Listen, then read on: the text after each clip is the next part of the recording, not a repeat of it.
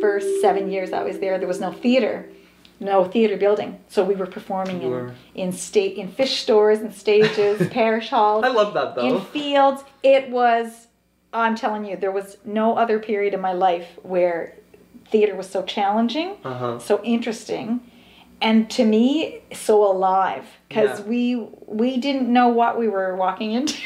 Pretty much, it didn't matter. Like if that was your space last night, you don't know how many fish were caught and gutted the night. The, in the time since you came back the next day, you didn't know mm. what you know. I mean, you knew pretty much what that I was going to be clean up and ready for you to use but life was still going on in these places like there was still the all these all these places were being used the field was being walked through you know by people who were going berry picking. Right.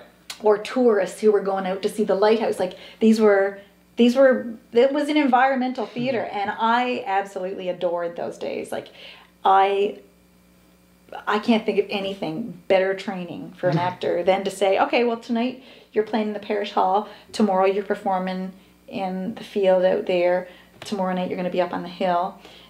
Like you know that was a pretty uh challenge and when i say challenging that's exciting